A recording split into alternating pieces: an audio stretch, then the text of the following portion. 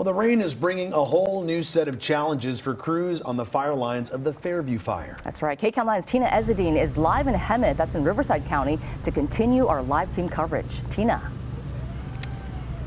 Juan and Susie, this is the state's largest wildfire of the year. Some 27,000 acres now burned. This sparked on Monday, but let me give you perspective on where it was to where it's going. Uh, you can see from the mountain there, most of it burned. Now, that is from Monday. Take a good look at that.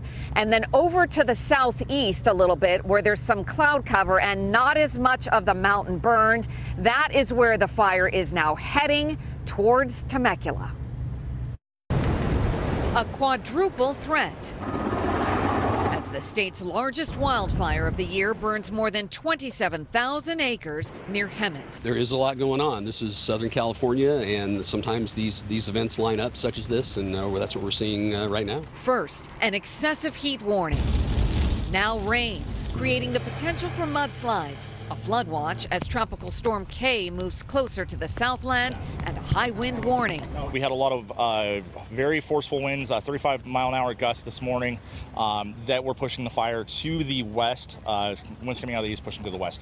So uh, that did create some expansion of the fire. Firefighters still struggling to surround the fire and stop it as its torturous trek now moves towards Temecula. The Fairview fire, as it's called, sparked Monday afternoon, killing two people as they tried to escape.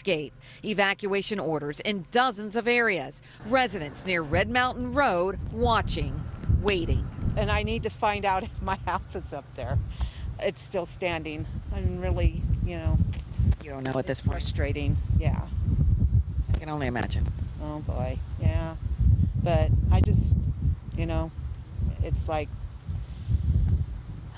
17 years living here, hoping her home is still safe.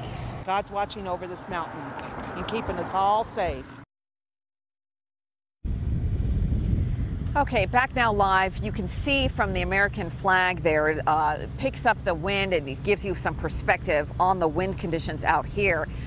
That is why fighting the fire from the air has actually now ceased because the winds are starting to pick up now, in addition to the rain and the cooler temperatures. I have to say, uh, considering what we've been enduring for the last week or so with the excessive heat, that actually feels quite nice right now but it's not so great for this firefight. And part of the reason is because firefighters just don't know where this weather conditions are going, what's going to happen next. So they're standing by for that. But that uncertainty is what's creating some generous concern out here this afternoon.